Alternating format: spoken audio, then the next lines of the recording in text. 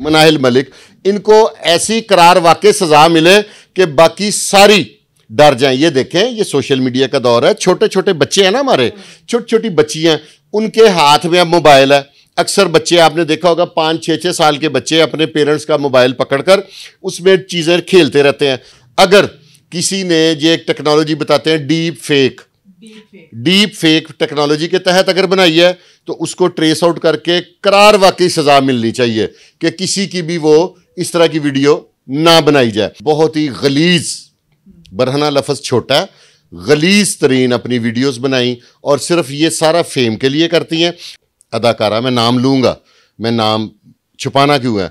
Film star Meera ने जब देखा कि उसकी जो है पॉपुलरिटी वो कम हो रही है, उसने अपनी, अपने हस्बैंड के साथ या जस्ट जो बाद में कहा कि मेरा हस्बैंड ही नहीं है उनके साथ वीडियो वायरल कर दी।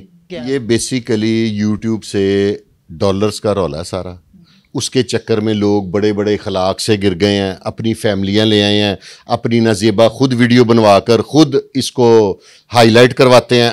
असलम नाजरन, मैं आपका मेज़बान उस्मान और आप देख रहे हैं मेरा पंजाब। नाजरन मिनाहिल मलिक, जो कि एक मरूफ टिकटॉकर हैं, इंस्टाग्राम पे इनके 18 लाख फॉलोवर हैं। इससे पहले भी इनकी नज़ीबा वीडियोस आई और अब दोबारा से इनकी, इनके बॉयफ्रेंड के साथ नज़ीबा वीडियोस जो हैं, वो सोशल मीडिया पे वायरल हैं। जिसके बाद इनका एक बयान सामने आया है कि ये वीडियोज़ मेरी नहीं है, ये वीडियोज़ मेरी नहीं है। अब सच क्या है, ये वीडियोज़ जिस तरह से पहले लीक हुई, पहले इन्होंने वीडियो लीक की और दोबारा फिर लीक हो गई।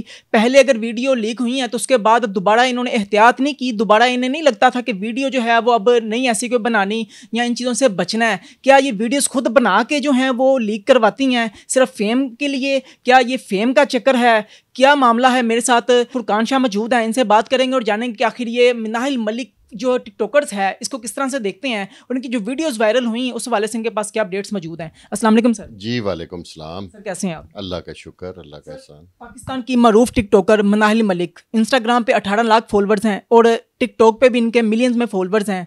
वीडियो पहले भी वायरल हुई अब दोबारा फिर इनकी वीडियोस आ गई हैं। क्या ये फेम का सारा निज़ाम है कि फेम के लिए सब किया जा रहा है? क्या समझते हैं आप? ये टोटल फेम गेम है। इसको मैं कहूँगा फेम गेम ये फेम की खातिर सारा कुछ होता है। इससे पहले भी आपको पता है, एक मरूफ अदाकारा, मैं नाम लूँगा, मैं नाम छुपाना क्यों है? फ़िल्म स्टार मीरा ने जब देखा कि उसकी जो है पॉपुलरिटी वो कम हो रही है, उसने अपनी, अपने हस्बैंड के साथ या जस्ट जो बाद में कहा कि मेरा हस्बैंड ही नहीं है, उनके साथ वीडियो वायरल कर दी। ठीक है? तो ये सारा फेम का चक्कर है। इससे पहले भी आपने देखा होगा कि जो स्टेज अदाकाराएँ थी मुख्तलिफ़ हमारे, अब मैं क्या किसी का नाम लूँ? उन्होंने भी बहुत ही गलीज, बरहना लफज छोटा, गलीज तरीन अपनी वीडियोस बनाई और सिर्फ़ ये सारा फेम के लिए करती हैं। इनका लेकिन साथ ही बयान आ गया।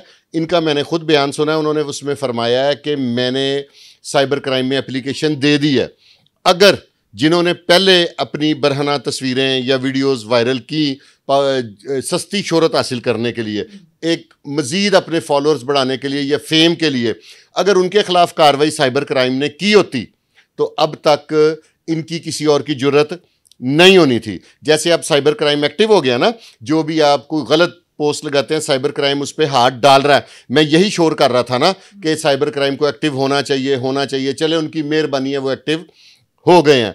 इसी तरह वो एक्टिव हों, अगर किसी ने ये एक टेक्नोलॉजी बताते हैं deep fake deep fake technology के तहत अगर बनाई है तो उसको ट्रेस आउट करके करार वाकई सजा मिलनी चाहिए कि किसी की भी वो इस तरह की वीडियो ना बनाई जाए। और अगर ये इनकी अपनी ओरिजिनल वीडियो है और इन्होंने ज़ाहिर है किसी और के अकाउंट से ही लगवाई होगी तो इस मनाहिल जो हैं मलिक मलिक। मनाहिल मलिक इनको ऐसी करार वाकई सजा मिले कि बाकी सारी डर जाएँ। ये देखें, ये सोशल मीडिया का दौर है। छोटे छोटे बच्चे हैं ना हमारे छोटी छोटी बच्चियाँ, उनके हाथ में अब मोबाइल है। अक्सर बच्चे, आपने देखा होगा, पाँच छः छः साल के बच्चे अपने पेरेंट्स का मोबाइल पकड़कर उसमें चीज़ें खेलते रहते हैं। और ये बेलगाम घोड़ा है। इसमें किसी चीज़ की कोई परवाह नहीं है कि क्या चीज़ बच्चे के सामने आ जाए। ठीक है? तो इसको इसको एक ऐसी प्रेसिडेंट बना दें। ये हमारा जो एफ़ आई ए का साइबर क्राइम विंग है।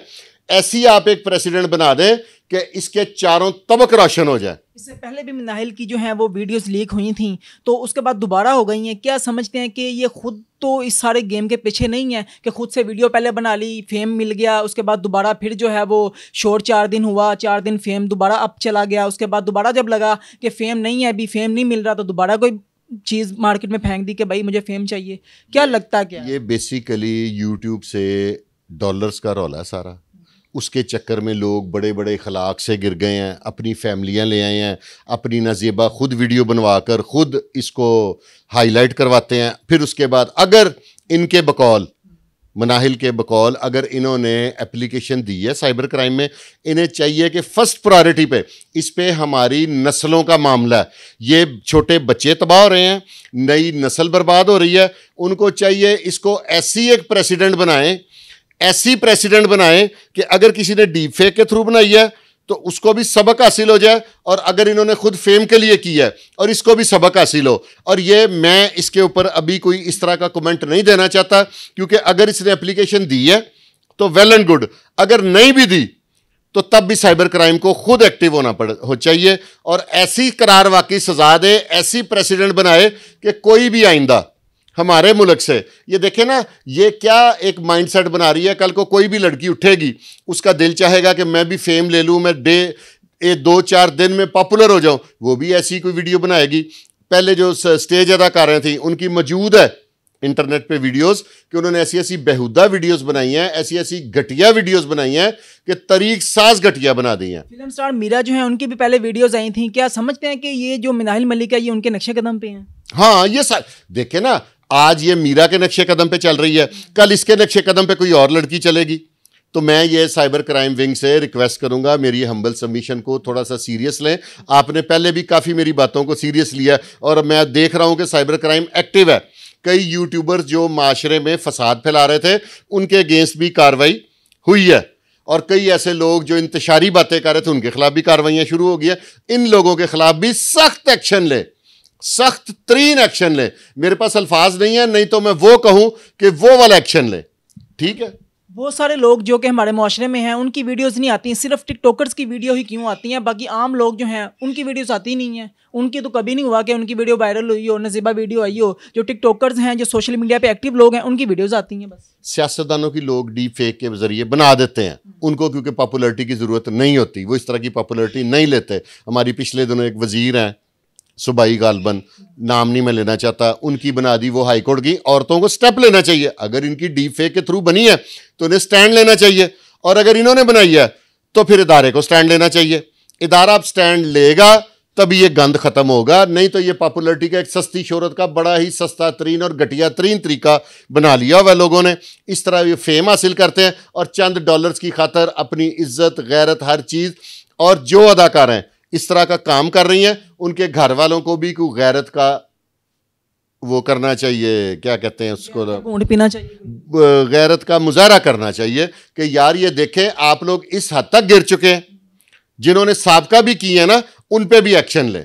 साइबर क्राइम से मैं एक हम्बल रिक्वेस्ट करूँगा कि जिन्होंने सबका भी इस तरह की वीडियोस बनाई हैं उन पे एक सीरियस एक्शन ले ताकि इनको नसीहत हो और मैं समझता हूँ कि इतनी काफ़ी है अगर उन्होंने एक्शन ना लिया तो फिर हम दोबारा इस पे प्रोग्राम करेंगे। कोई इज्जतदार बंदी जो है या इज्जतदार खतून जो है वो कैसे अपनी खुद वीडियोस वायरल कर सकती है?